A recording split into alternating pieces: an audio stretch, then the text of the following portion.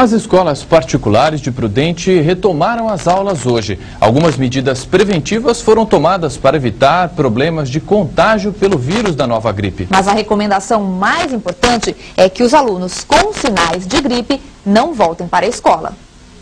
A manhã gelada em Presidente Prudente marcou o retorno às aulas nas escolas particulares.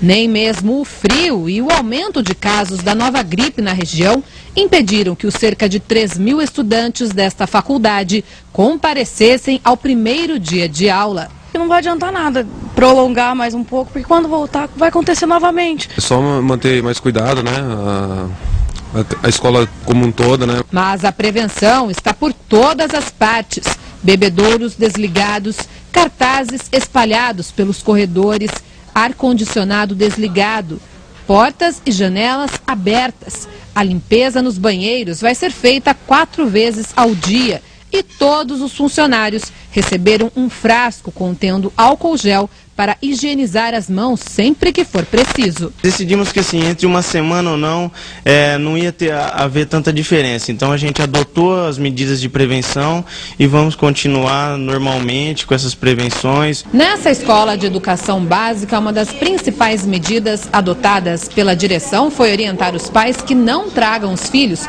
com problemas de saúde. E qualquer aluno que apresente sintomas de gripe durante as aulas deve retornar para casa.